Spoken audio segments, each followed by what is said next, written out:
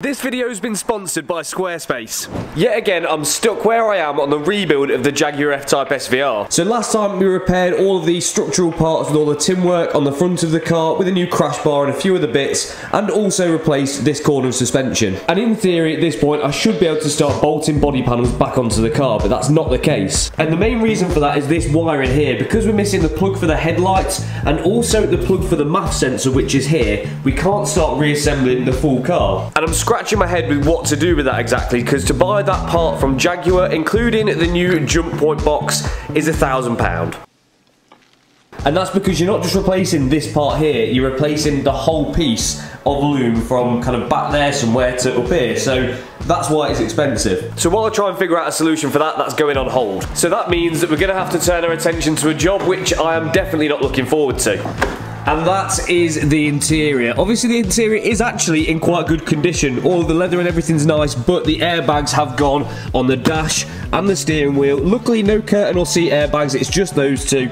So I've got to try and sort this out somehow. And this is where things carry on getting silly because a new dashboard in this specification, which you can't order brand new anyway, it's going to be made to order, I believe, is over £3,000. And I don't want to spend that on just a dashboard because then still I've got to buy the airbags and everything like that. So I'm going to be like four, five thousand pound into replacing this interior. Which I don't know about to you guys, but that just seems a little bit ridiculous. I think what I'm going to try and do first, well, I haven't actually got a dashboard, so we need to go and get one.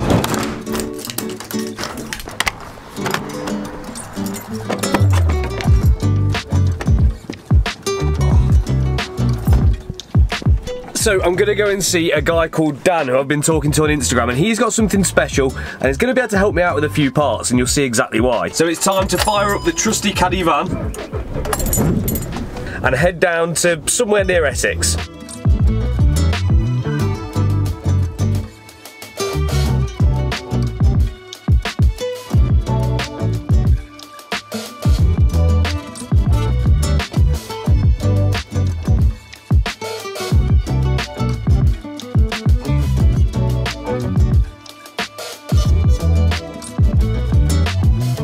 How cool is this? So this is a one-off F-Type. It's an F-Type LM. So this was built for a Le Mans race in 2014-ish, but it actually never ended up being completely finished and has ended up here. So engine-wise, it remains roughly the same, apart from with forged internals and a bigger supercharger, making somewhere between 650 and 700 horsepower. But the body itself of the car has been widened by 8 inches to make room for bigger, wider wheels, and also completely custom suspension with all new arms and, well, everything.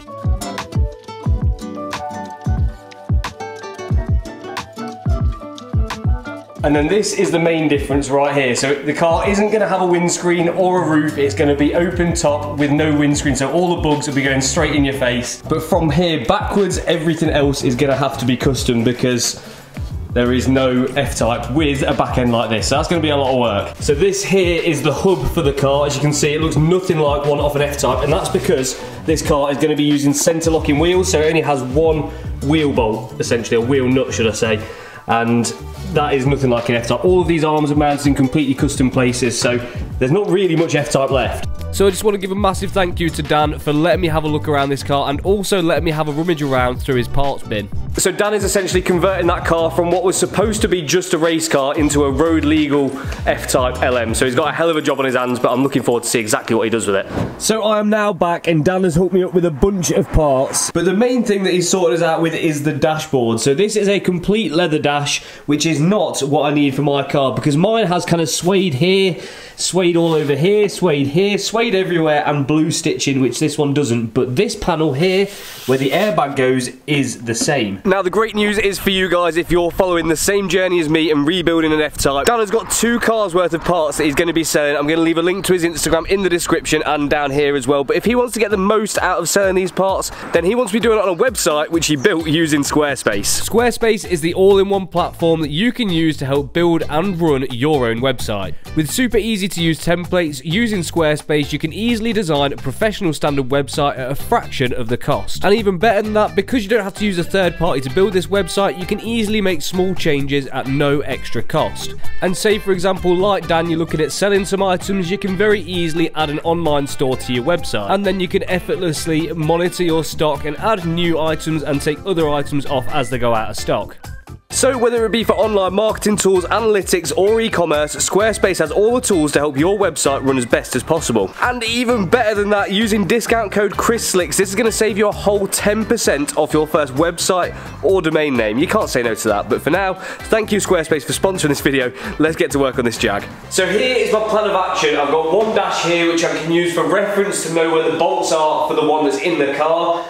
And I'm gonna have to just take that one out and then see what I can do to make the stuff of that dash fit this dash or vice versa or just make something work so I can keep that individually spec SVR interior. Whether it's going to work or not, I have no idea, but the first thing I've got to do regardless is get the broken one out, so that is the first stage of the process. If I'm being real with you, I've been dreading doing this because I've never done a dashboard in my life. I hate dealing with interior trims at the best of times, and this is about as fiddly as interior jobs get, so I've just got to do it, work my way through it bit by bit, and hope that I don't break too much. So I then set about dismantling the full interior of this Jaguar F-Type, starting with all of the clip-on panels. Now I have had a little bit of help here in the form of an email from someone that used to work at Jaguar I believe, and they said that you can just remove the top section of the dash, but there is still quite a lot to remove, but as far as dashboards go, apparently they can get a lot worse than this. So the next thing that I had to remove was the kind of full center console and infotainment system, so all of the trims come off,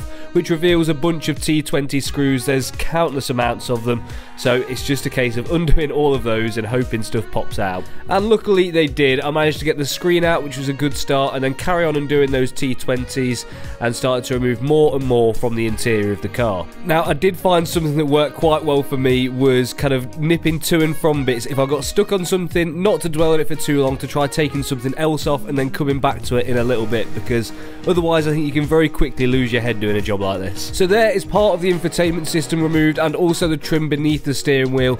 The next thing I want to do is the kind of center vent which comes out of the dash. It's quite a common thing for these to fail so I'm going to have a look at this while it's off the car and see if I can repair the system which makes this come up and down. So the first thing that comes off it is the speaker trim and then this reveals a bunch of again T20 screws which hold in the speaker and also this trim too. And some of these were a little bit concealed so I had to get like a longer screwdriver with a T20 bit on it to get down to those because they weren't the easiest to see either. It's not the first time I've been told I need a longer tool. And that was the rear part of that vent loose and ready to come off the car but it was still secured at the front so I did find some more T20 screws at the front here near where the screen sits and once those were out I could unplug the heater vents and get it off the car. The next thing I wanted to try and remove was these kind of side handles that go around the center console and all around there. I don't know the proper name for them, but they were quite tricky to get off. Not as easy as what you'd think. So to get these off, what I had to do was remove the gear stick trim. This is kind of the first layer to this which reveals a couple of bolts, but there's some more underneath the second one. And to release that, you have to take the trims off the side of the kind of center console. And the only way to get that off on the passenger side is by taking the glove box out. So that was the next job to do. Luckily, this was not too challenging to be fair. There's four bolts holding the glove box in, two inside it and two underneath it, and a couple of electrical connectors, and then the glove box was free from the car. I'm praying that when I put all this back together with the new dash that the glove box works flawlessly because I couldn't get it to shut before, but we'll see. The only thing holding the driver's side on was a couple of clips, so we could pull that off, and then we could concentrate on the passenger side one, which is a bit more complicated. We were struggling with this trim for a little while, but after a bit of playing around, Liam got the hang of it. One. What do you reckon to that? Oh, that was absolutely sensational. So how did you do it? Just pulled it. Okay. Literally just went like this. nice, so that's an hour wasted then. And once that was off, that revealed the last six bolts that we need to take off to remove the kind of gear stick trim and get to those last final few bolts holding that little handle in place. And then the last thing we need to do before we start taking the bolts out for the dash is taking the clocks out because there is a couple of bolts behind here which hold the dash to the frame. This was an absolute doddle, a couple of trims and one bolt hold this in and then just an electrical connector on the back. There's been nothing so far which has been too difficult really in regards to taking the dash out, but I am dreading putting it back in because remembering how it all goes back together is a completely different story. So then it was time to take out the bolts which hold the top of the dash to the frame and I think there was about between 10 and 12 bolts that do this so it wasn't too bad. Most of them are pretty accessible apart from the ones right at the top by the windscreen which weren't the easiest to get to but still perfectly fine. So then the dash was loose and it was jiggling around inside the car, ready to come out. So we got in position, set the cameras up, and pulled the dash outside of the car. Thank God that is finally done. There was a few wires that we'd forgot underneath the dash on the passenger side, but after those were disconnected, it came straight out. I'd definitely been worrying about doing this and been overthinking it as well, so it was actually not too bad once you got stuck into it. You got it? Yeah.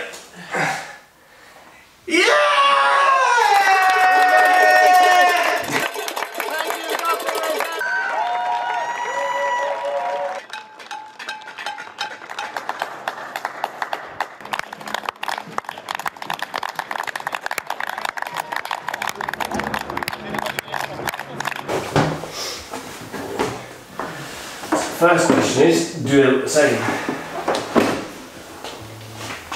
So once we were happy that the frame of both the dashboards did match up, we could then turn our attention to the last airbag which had deployed in the car, which was the steering wheel one. This was actually really easy to do.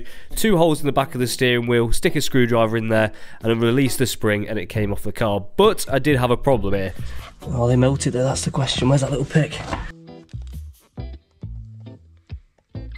So what can happen sometimes when an airbag deploys is that the plugs melt to the airbag itself because it's got so hot when that explosion happens mm. and unfortunately that has happened in this case so I'm not going to be able to release these plugs off the airbag with ease so I'm going to have to cut the cables so we're going to have to replace that section of loom at a later date but then we can remove the earth and then that airbag is off the car as well. Easy. Mm, Light work. Light work. Light work. So there is old dash out of the car and here is the new one. As you can see there is some differences. So this has the suede top with the blue piping blue stitching where this one does not. So we want to try and get this stuff off here and put it on here before that goes back in the car. And I'm not able to do that. But Liam is. Why can't you do it? So we've now got both dashes out the car and I need to take them to a local trimmer to see what we can do with it. So I'm going to go and try a few local places and hopefully someone's going to be pretty positive and we can get them turned around pretty quickly because the key here is speed because I need to be able to remember how it all goes back together. And even though I filmed it, it's not always the most helpful. It's I've got to keep it fresh in my brain, so we need to get this done fast. So I then load up the new dash and the old dash into the van and go hunting around Leicester to see what trimmers I can find that want to tackle this job.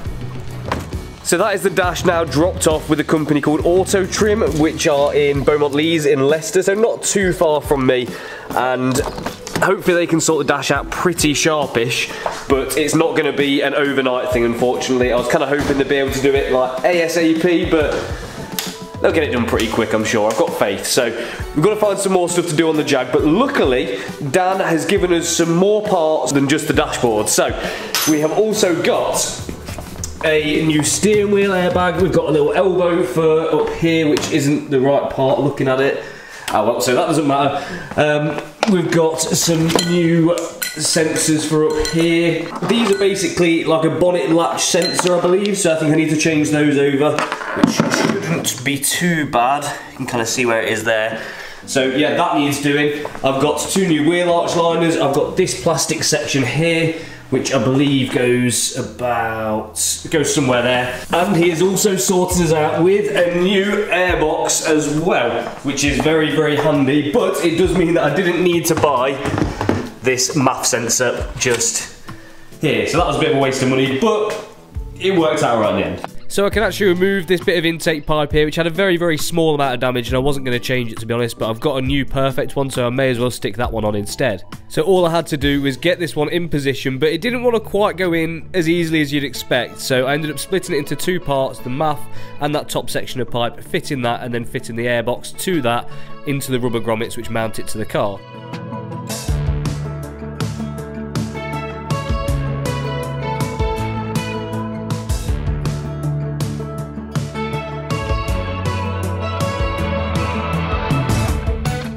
One job down, on to the next one. So let's have a look at these bonnet release sensor things. I think these basically just operate to tell you whether the bonnet is open or closed, and I believe they get damaged when the car is involved in a crash. So better to be safe than sorry, and just to replace them, then I know I'm not going to have anything to worry about. Hopefully the actual latch itself is perfectly fine. I can't see a reason why it wouldn't be though. But after five minutes of spannering, that's done as well. So where are we up to? Let's have a quick recap before we carry on. We've got the dash out and at the trimmers, waiting for that to come back so we can put that back in with the new airbag.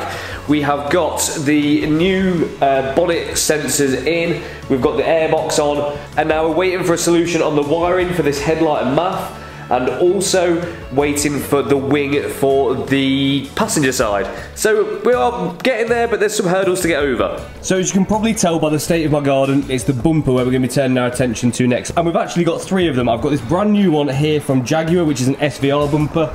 I've got the original SVR bumper off the car, which is obviously heavily damaged, but I've also got this standard facelift bumper as well, which we can use for parts. And speaking of parts, we've got even more of those just here. So the next step is trying to build up this new F-Type bumper to make it complete so it's ready to go on the car when the time's right. And it's definitely a bit of a jigsaw. I think the best place to start here was taking the centre grille off this second-hand facelift bumper which came with this grille quite handily and luckily the grille is exactly the same on the standard model as it is on the SVR. The only difference is the badge which you can transfer over from one to the other. So once that's removed from that standard bumper I can then stick it all straight into that brand new SVR bumper. Now I've got to say I've never actually bought a bumper brand new from a dealership before, so it was quite nice to actually know that everything on there is in perfect condition, as you'd expect it would be. I know that sounds daft, but it's just like a bit of a novelty thing for me. I've never had that before.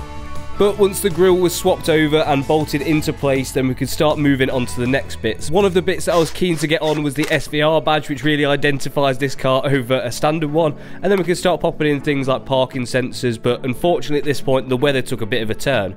So I dragged the new bumper inside and then started fitting the rest of the grills, the washer jets and all the trims which go on the back of the bumper too.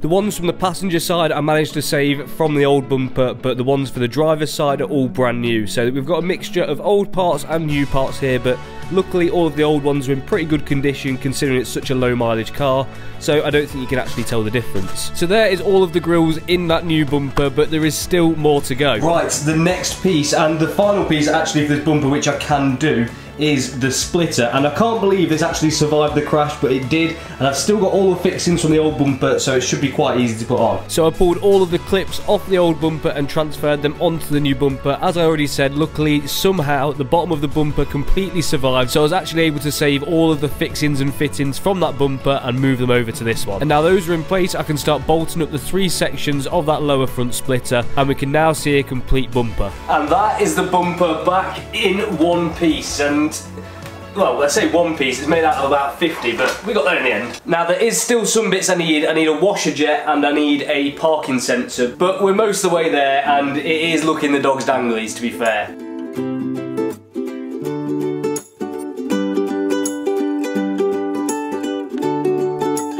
I'm getting excited now. I can start to see kind of the finished picture because I've not seen this car in the flesh looking complete yet. So I think it'd be rude now not to go and see what this looks like on the car.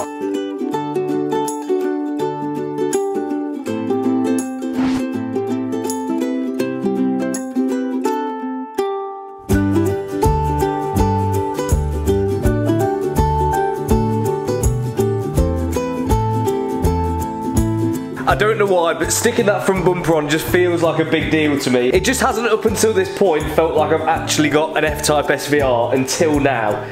I'm really pumped to get this done. It's so easy to forget while you're so close in on a situation, looking at all these little minor problems that realistically the end goal that you're working towards slowly piece by piece is something that not long ago I'd have only dreamt of owning and to me that's a little bit crazy. Especially considering most of it is thanks to this little Halfords toolkit. It's probably the best £200 I've ever spent. And one thing that's even crazier to me that only two years ago or so I'd have been paying someone to do my brake pads and my oil changes and things like that and now I'm taking a dashboard out of a Jaguar F-Type so it just goes to show no matter how stupid you are, you can learn it. But anyway, let's not get too caught up with that. I need to go and pick this dash up, but unfortunately, you're gonna have to wait until next time to see it. So until then, make sure you subscribed, make sure you like this video, and I'll catch you next time.